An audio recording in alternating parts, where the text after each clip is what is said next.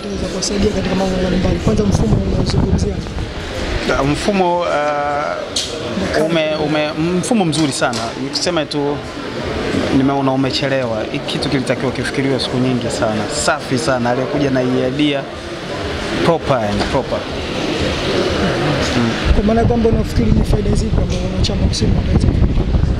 Hivi vitu kama kama kuwa na, na kadi ambazo unaweza kuzitumia kupata huduma mbalimbali ambazo uh, unaweza kuzipata kutoka kwenye klabu yako, yani kutoka kwenye ushabiki mpaka kuwa mteja, from a, just a fan to a customer, ni vitu ambavyo uh, vilitakiwa kuwepo muda mrefu. Ukiangalia uh, uh, klabu nyingine kwa mfano za Ulaya, klabu kubwa, vitu vinafanyika.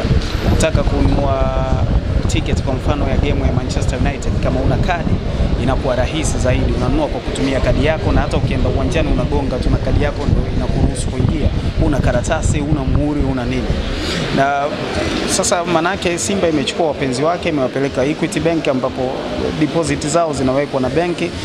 Ni matumaini yangu kwamba ma, inamaanisha uh, klabu kama klabu kuna faida za kiuchumi ambazo itakuwa inazipata kwa muunganiko wake huu na benki na inaongeza avenues za uh, klabu kuongeza mapato yake ili kuongeza uwekezaji kwenye mpira, kwa sababu kama unavyojua uh, mpira sasa hivi ni hela, mpira pesa. Kwa hiyo klabu inahitaji as much funds as possible, na hizi ni njia za klabu kuweza ku, ku, kuongeza kipato chake ili tufanyie mambo makubwa zaidi, tusajiliwe wachezaji zaidi kuwe na facilities za kutosha uh, na vitu vingine vingi ambavyo vitaifanya klabu iwe mojawapo ya klabu tishio barani Afrika, sio nchini tu.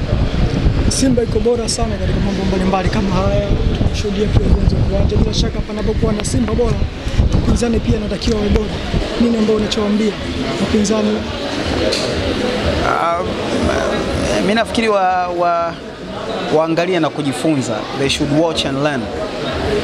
Hizi sio hatua za kubeza, tunaweza tukabezana kama kawaida, kwa sababu ndo, ndo mpira asilimia 80 na kwenda juu ni banta, ni mautani. Kwa hiyo tunaweza tukabezana kwa sababu utani ndo sehemu ya, ya mpira wenyewe, lakini hizi ni hatua ambazo zinatakiwa kuchukuliwa. Ndugu zetu wanatakiwa kufanyia kazi, probably wasifanye kama ambavyo tumefanya sisi kama Simba, lakini wakaja na idea za namna hii kuhakikisha klabu inajitegemea, inakuwa inajitosheleza kwenye njia zake za mapato na sio tupitishane mabakuli kila siku, ina, ina turn off na kwa klabu zenye mtaji mkubwa wa wapenzi na washabiki kama Simba na Yanga hazikutakiwa ziwe zinapitisha bakuli. Namna hii ndo unawachangisha watu, hili ndo bakuli la kisomo. Yes. Shukrani sana.